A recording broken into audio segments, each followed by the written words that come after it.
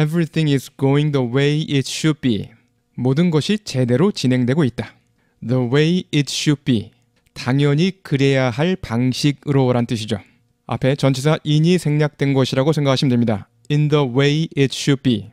Everything is going in the way it should be. 에서 전치사 in이 생략되었습니다. 이런 것을 부사적 대격이라고 하는데요.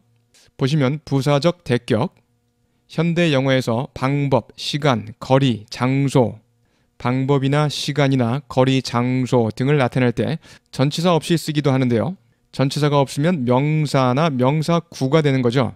하지만 부사구의 역할을 하기 때문에 이를 부사적 대격이라고 합니다. 용어는 중요한 건 아니지만 예문을 보시고 익혀야겠습니다. Don't look at me that way. 원래는 in that way 그런 방식으로 그렇죠? 그렇게 나를 쳐다보지 마라. Don't look at me in that way. 인생약 방법을 나타냈고요. I met him again. 나는 그를 다시 만났습니다. I met him again on the next day. 다음 날에 이렇게 시간을 나타낼 때 전치사가 생략되기도 합니다. on the next day 또는 생략되고 그냥 the next day. I waited for him. 그를 기다렸습니다. I waited for him a long time.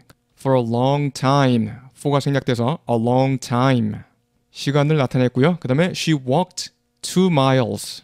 2마일을 걸었습니다. for two miles. for 생략. 거리를 나타내죠. He lives on next door. 그는 옆집에 삽니다. 장소를 나타냅니다.